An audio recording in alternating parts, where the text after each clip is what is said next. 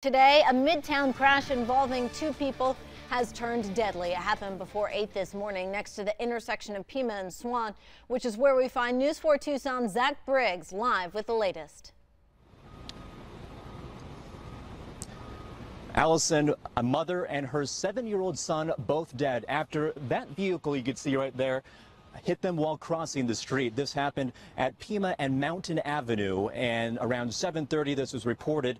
And according to police, it's not known for sure whether the mother and child were using the crosswalk. Tucson police can confirm the driver was not impaired.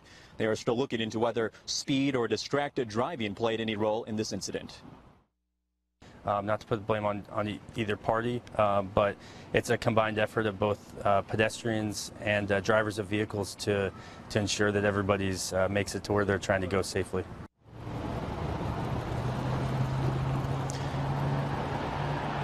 And earlier there was a bike also in the middle of the street uh, mangled.